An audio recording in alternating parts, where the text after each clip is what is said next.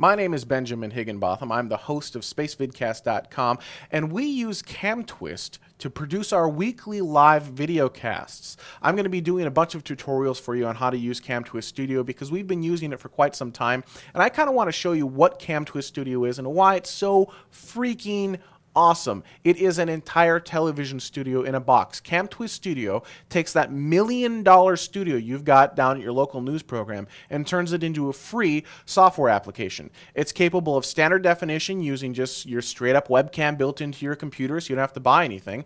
Or if you've got a Mac Pro, you can even add Blackmagic cards, such as the Blackmagic Intensity board, and multiple Blackmagic cards, so you can have a multiple high definition cameras coming into your computer and switching between your high definition cameras in real time and doing a live high definition show on the internet. And that's exactly what Space Vidcast does today using this version of software, CamTwist Studio 2.0. Let me show you a little bit about how we do that and what makes CamTwist so powerful. So first off, in the interface, you're going to see this matrix. This is where all of the different objects are located the beautiful thing about CamTwist is that one button doesn't mean one source like it would in a traditional video switcher. One button can be a bunch of different things.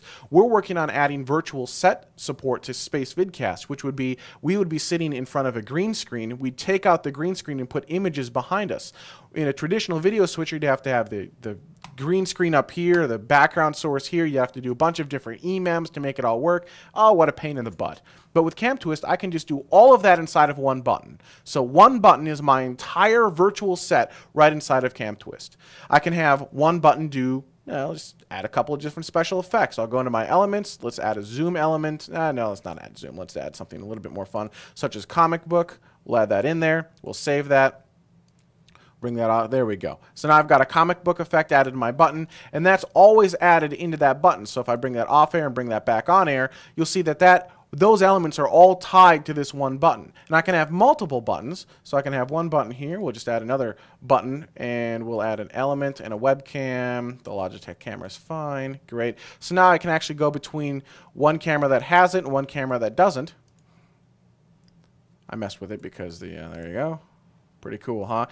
And I can dissolve I can cut, I can add nameplates. I've got full alpha channel support. If I want to add an element on top that has actual alpha channels, so let's uh, let's show this really quick. This is designed for 16 by 9, but you get the idea. So here's this, and you'll see we'll do an alpha channel reveal back to me just like so. So I can have videos with alpha channels built into them and roll those in. You'll hear you heard the audio that was rolled in. I can create video playlists with a DDR. I've got my CG. I can have the chat room at the bottom. I can integrate RSS feeds. I can pretty much do anything I could do in a traditional television studio right inside of the CamTwist studio interface.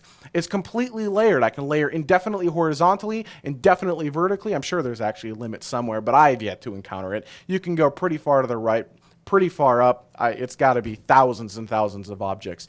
This is what CamTwist Studio is. It's an entire television studio in a box. And the television revolution will happen with programs like CamTwist Studio, allowing us to create high-end, high-definition, high-quality live videocasts on the internet. This will tie to your favorite streaming providers such as Mogulus, Ustream.tv, Blog TV, or even if you've got just something that you want to use such as Skype, you can add all of these effects in as well. You've got your preview monitor so you can stage everything in advance. You can break things up inside of your matrix so that you've got a timeline of events. You can have different setups. It's amazing what you can do for the low, low cost of $0 and 0 cents. This is the CamTwist Studio interface, and I look forward to teaching you how to do some really cool things with it in different tutorials.